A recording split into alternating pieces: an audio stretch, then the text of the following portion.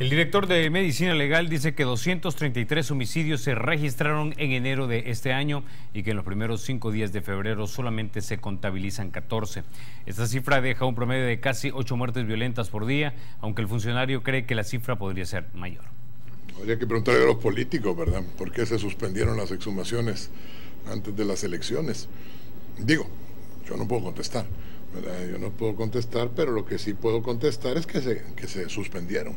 Y es que para el director de Medicina Legal, las estadísticas de homicidio estarían más arriba si las autoridades de la Fiscalía y Policía no hubieran suspendido las exhumaciones en cementerios clandestinos.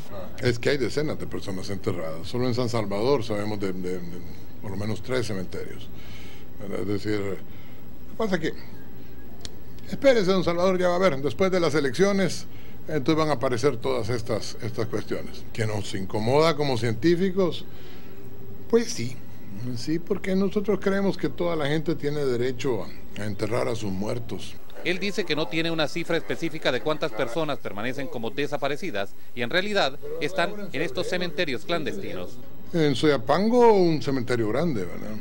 Este, en las zonas... Eh, de San Salvador, en algunos de los barrios de San Salvador, un cementerio mediano, cerca de una iglesia.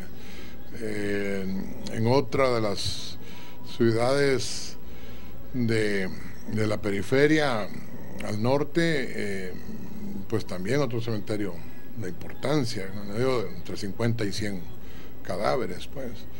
Este, el cementerio de Lourdes Colón no se ha terminado. Nosotros hemos exhumado poco más de, de 25, 28, 28 personas exactamente. José Miguel Fortín dice que a pesar de que las estadísticas reflejan cifras bajas, la realidad es que las muertes violentas se vienen incrementando desde hace mucho tiempo. Por ejemplo, julio fue un mes muy violento el año pasado, noviembre fue otro mes bastante violento. Pero respecto al año antepasado, sí, a partir de julio uno puede ver una tendencia al alza. De los 14 homicidios ocurridos este mes, Cinco se registraron el martes de esta semana, explicó el funcionario. Para Teleprensa Canal 33, Salvador Martínez.